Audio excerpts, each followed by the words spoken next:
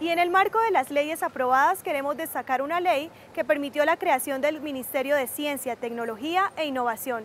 Esta es una iniciativa que ha sido liderada por el senador Iván Darío Agudelo.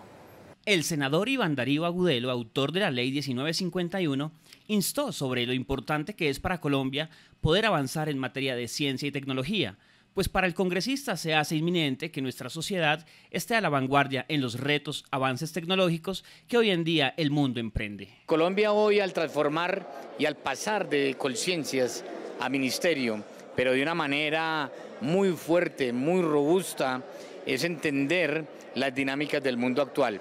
Colciencia nace como la respuesta a la tercera revolución industrial. Hoy estamos en la cuarta revolución industrial. ¿Cómo le está respondiendo hoy Colombia al mundo? Le está respondiendo con un Ministerio de Ciencia, Tecnología e Innovación de 34 países de la OCDE, 23 tenían ministerio, hoy 24. A partir de enero entra en vigencia y es la construcción del nuevo país.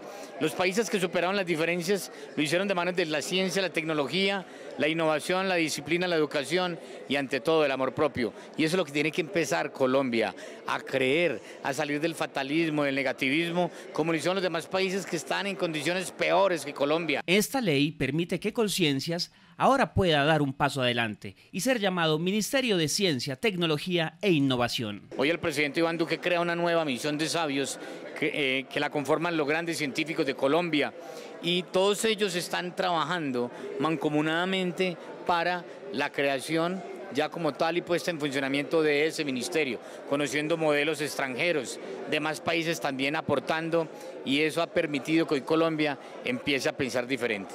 La ley sin duda permitirá que nuestros jóvenes y científicos obtengan una mejor preparación, la cual hará posible que Colombia esté ubicado en los principales rankings de competitividad en ciencia y tecnología.